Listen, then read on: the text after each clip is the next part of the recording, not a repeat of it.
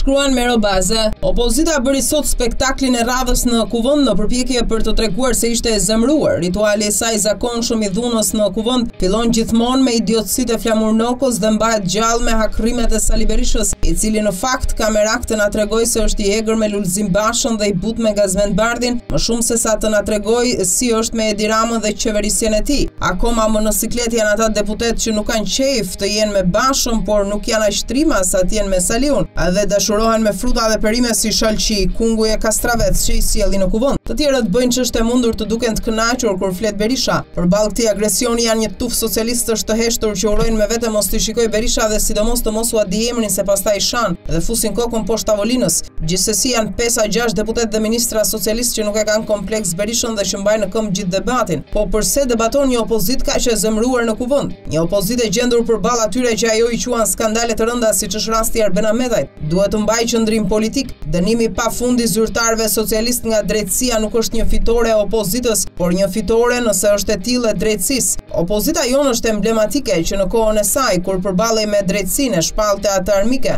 Sali Berisha për të mos dorëzuar djalin e tij në prokurori i shpalli luftë prokurorisë Për të mos dorëzuar Mediun i shpalli luftë Gjykatës së Lartë. Për të mos dorëzuar Ilir Metën shkoi në mesnatë në shtëpi të tij dhe pa filma në laptopin e Monikës për t'u bindur ç'kishte bërë djali me Dritan Priftin. Për të mos dorëzuar vrasësit e Remzi Hoxhës, i bëri ata drejtorë të mëdhenj e kështu me radhë. Nëse sot opozita gëzohet që socialistët nuk janë aq të zotë sa ata që t'i mbrojnë njerëzit e tyre nga drejtësia, kanë të drejtë të gëzohen, por jo si triumfatorë, por si hajdutë me imunitet. Për fat socialistët i janë dorëzuar drejtësisë. Në rast se do të mbajë qëndrim politik ndaj bilancit të rënduar të ndëshkimeve nga drejtësia mbi socialistët, atëherë duhet të kërkojë rrëzimin e qeverisë dhe zgjedhje të reja. Këto janë dy rrugët se si një opozitë i përgjigjet një situate të tillë, ose të mbajë anën e drejtësisë ose t'i kërkojë qeverisë të shkojë në zgjedhje dhe të verifikojë mandatin e tyre popullor. Opozita jonë në këtë betejë nuk është as me drejtësinë as me zgjedhjet e reja. Është dakord të vazhdojë qeverisja, por ata të bëjnë të fort në kuvend derisa të binden që janë më të fortë se Lulzim Basha, ose akoma më tepër derisa të binden që Gaz Bardhi nuk do ikë me Lulin por me Salën. Kjo është një opozitë e mirë,